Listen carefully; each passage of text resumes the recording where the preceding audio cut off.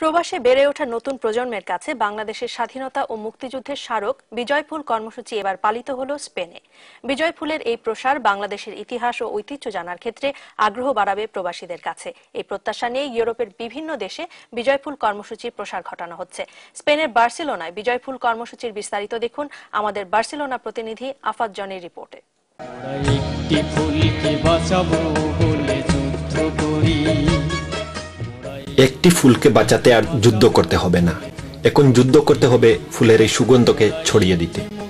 কবি স্বামী মাজাদের সুন্দর চিন্তাধারার ফসল বিজয় ফুল মুক্তিযুদ্ধের সেই বিজয়ের সুগন্ধকে ধারণ করবে যুগের পর যুগ। বিজয় ফুলকে বুকে লালন করতে বিশ্বের অন্যান্য দেশের মতো স্পেনের বার্সেলোনায় উদযাপিত হচ্ছে বিজয় ফুল কর্মসূচি।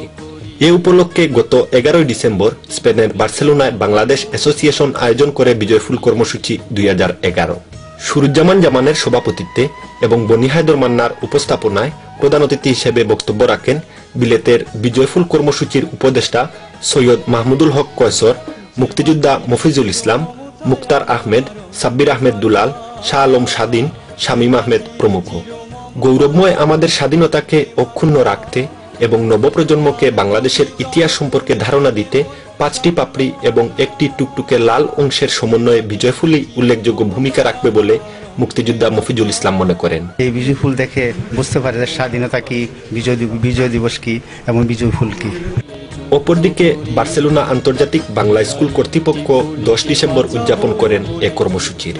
শফিক খানের পরিচালনায় এবং তৌফিকুর রহমান তরফদারের সভাপতিত্বে বার্সেলোনার বিভিন্ন কমিউনিটি ব্যক্তিবর্গ, অভিভাবক শিক্ষার্থী সহ উপস্থিত ছিলেন আমন্ত্রিত অতিথি সৈয়দ মাহমুদুল হক কয়সর। বাংলা স্কুলের শিক্ষার্থীরা এ সময় বক্তাদের কাছ থেকে মুক্তিযুদ্ধ ভিত্তিক বিভিন্ন গল্প শোনার পাশাপাশি নিজেরা ব্যস্ত থাকে মুক্তিযুদ্ধ ভিত্তিক চিত্রাঙ্কনে।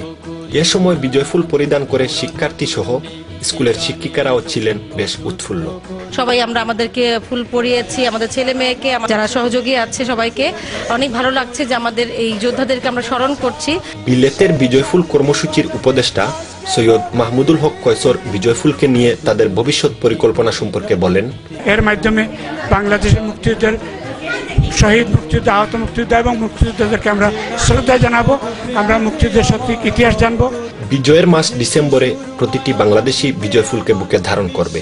এবং অচিরেই বাংলাদেশ সরকার বিজয় ফুলের পৃষ্ঠপোষক হিসেবে কাজ করবে বলে স্পেন প্রবাসী বাংলাদেশিরা মনে করেন। আফাজ্জনী, এনটিভি নিউজ, স্পেন।